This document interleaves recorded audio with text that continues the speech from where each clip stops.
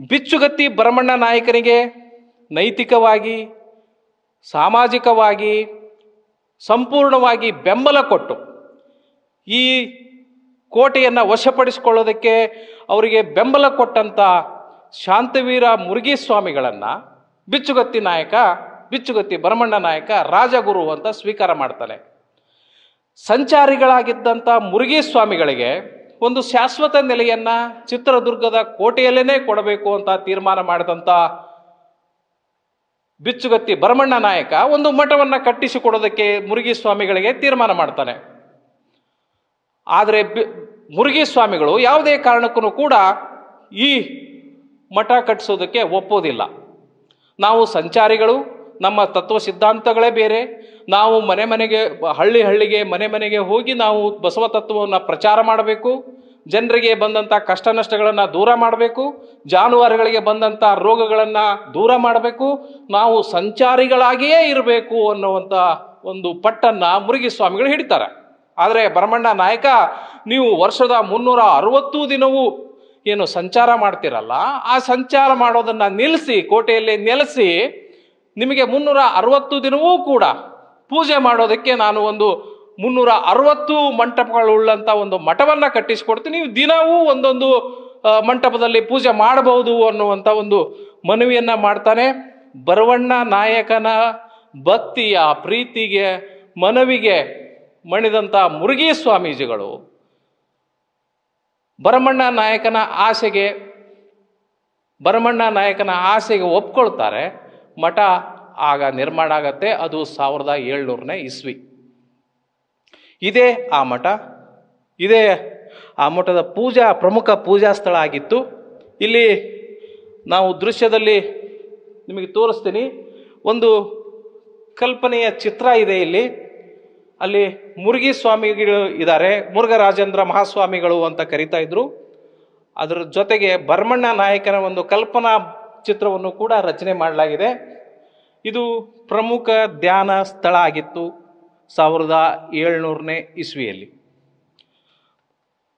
ಇದು ಪ್ರಾಂಗಣ, ಮಠದ ಪ್ರಾಂಗಣ. ನಾನು ಈಗಾಗಲೇ ಹೇಳಿದಂತೆ ಈ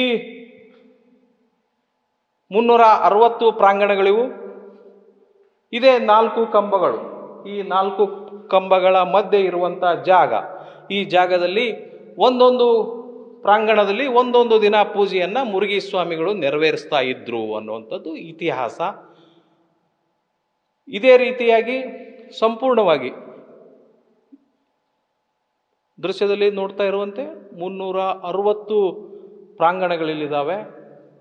ಇದೇ ಪ್ರಾಂಗಣಗಳಲ್ಲಿ ಮುರುಗಿ ಸ್ವಾಮಿಗಳು ಪೂಜೆಯನ್ನು ನೆರವೇರಿಸ್ತಾ ಇದ್ರು. ಇನ್ನು ಮುರುಗಿ ಸ್ವಾಮಿಗಳಿಗೆ ಈ ಮುರುಗಿ ಸ್ವಾಮಿಗಳು ಮುರುಘರಾಜೇಂದ್ರ ಸ್ವಾಮಿಗಳು ಅಂತ ಯಾಕೆ ಹೆಸರು ಬಂತು ಅನ್ನೋದಕ್ಕೂ ಒಂದು ಇತಿಹಾಸ ಇದೆ. ಮುರುಗಿ ಸ್ವಾಮಿಗಳು ಯಾವಾಗಲೂ ಕೈಯಲ್ಲಿ ಒಂದು ಮುರುಗಿ ಆಕಾರದ ಬೆತ್ತವನ್ನು ಹಿಡ್ಕೊಂಡು, ಹಿಡ್ಕೊಂಡಿರ್ತಾ ಇದ್ರು. ಆ ಮುರುಗಿ ಆಕಾರದ ಬೆತ್ತವನ್ನು ನೋಡಿದ್ದ ಜನ ಇವರಿಗೆ ಮುರುಗಿ ಸ್ವಾಮಿಗಳು ಅಂತ ಕರಿತಾ ಇದ್ರು. ಜೊತೆ ಜೊತೆಗೆ ತಮ್ಮ ತಲೆಗೆ ಒಂದು ಮುರುಗಿ ಮುರುಗಿ ಆಕಾರದ ಒಂದು ಪೇಟವನ್ನು ಕೂಡ ಅವರು ಸುತ್ಕೊಂಡಿರ್ತಿದ್ರು. ಇವೆಲ್ಲ ಕಾರಣಕ್ಕೆ ಅವರಿಗೆ ಮುರುಗಿ ಸ್ವಾಮಿ ಮುರುಗಿ ಸ್ವಾಮಿ ಅಂತ ಜನ ಕರಿದ, ಕರಿತಾ ಇದ್ದಿದ್ದ ಕಾರಣಕ್ಕಾಗಿ ಅವರಿಗೆ ಮುರುಘರಾಜೇಂದ್ರ ಸ್ವಾಮಿ, ಶಾಂತವೀರ ಸ್ವಾಮೀಜಿಗಳು ಮುರುಘರಾಜೇಂದ್ರ ಶಾಂತವೀರ ಸ್ವಾಮೀಜಿಗಳು ಅನ್ನುವಂಥ ಹೆಸರು ಬಂದಿರುವಂಥದ್ದು ಮುಂದೆ ಏನಾಗತ್ತೆ? ಕಾಲಾನಂತರದಲ್ಲಿ ಚಿತ್ರದುರ್ಗ ಕೋಟೆಯಲ್ಲಿ ಒಂದು ಸಾಂಕ್ರಾಮಿಕ ಕಾಯಿಲೆ ಬರುತ್ತೆ. ಸಾಂಕ್ರಾಮಿಕ ಕಾಯಿಲೆ ಬಂದಂಥ ಸಂದರ್ಭದಲ್ಲಿ ಸ್ವಾಮೀಜಿಗಳು ಇಲ್ಲಿ ಇರಬಾರ್ದು. ಸ್ವಾಮೀಜಿಗಳನ್ನ ನಾವು ಬೇರೆ ಸ್ಥಳಕ್ಕೆ ಸ್ಥಳಾಂತರ ಮಾಡಬೇಕು ಅಂತ ಭರಮಣ್ಣ ನಾಯಕ ತೀರ್ಮಾನಿಸಿ ಸ್ವಾಮೀಜಿಗಳಿಗೆ ಮನವಿ ಮಾಡಿಕೊಳ್ತಾನೆ. ಸ್ವಾಮೀಜಿಗಳೇ, ಈ ಸಾಂಕ್ರಾಮಿಕ ರೋಗ ಬಂದಿದೆ ಈಗ. ತಾವು ನಮ್ಮ ಹಳೆಯ ಅರಮನೆ ಒಂದಿದೆ. ಅಲ್ಲಿಗೆ ನೀವು ಮಠವನ್ನು ಸ್ಥಳಾಂತರ ಮಾಡಿ ಅಂತ ಒಂದು ಮನವಿ ಮಾಡಿಕೊಳ್ತಾನೆ ಅನ್ನುವಂಥದ್ದು ಒಂದು ವಾದ. ಆದರೆ ಇನ್ನೊಂದು ವಾದದ ಪ್ರಕಾರ ಇಲ್ಲಿ ಕೋಟೆಯಾಗಿದ್ದರಿಂದ ಆಗಾಗ ಯುದ್ಧಗಳಾಗ್ತಾ ಇದ್ವು, ರಕ್ತಪಾತ ಆಗ್ತಾ ಇತ್ತು. ಈ ಬಸವ ತತ್ವವನ್ನು ಸಾರುವಂತ ಈ ಮಠದಲ್ಲಿ ಈ ರಕ್ತಪಾತ ಎಲ್ಲ ಇರಬಾರ್ದು.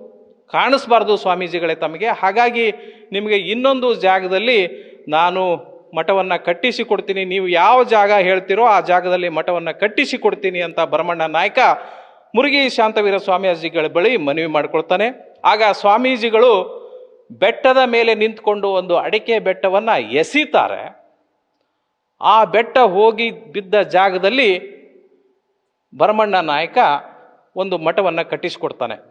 ಇದು ಇನ್ನೊಂದು ವಾದ. ಹೀಗೆ ಕಟ್ಟಲ್ಪಟ್ಟಂಥ ಮಠವೇ ಈಗಿನ ಪುನಾ ಬೆಂಗಳೂರು ರಸ್ತೆಯಲ್ಲಿ ಹೊಂದಿಕೊಂಡಿರುವಂಥ ಮಠ, ಮುರುಘಾ ಮಠ, ಮುರುಘ ರಾಜೇಂದ್ರ ಮಠ, ಅದುವೇ ಹೊಸ ಮಠ. ಇಲ್ಲಿನ ಏನು ಮುರುಗಿ ಸ್ವಾಮಿಗಳ ಕರ್ತೃ ಗದ್ದಿಗೆ ಕೂಡ ಅದೇ ಮಠದಲ್ಲಿದೆ. ಇದಿಷ್ಟು ಮುರುಘಾ ಮಠದ ಇತಿಹಾಸ.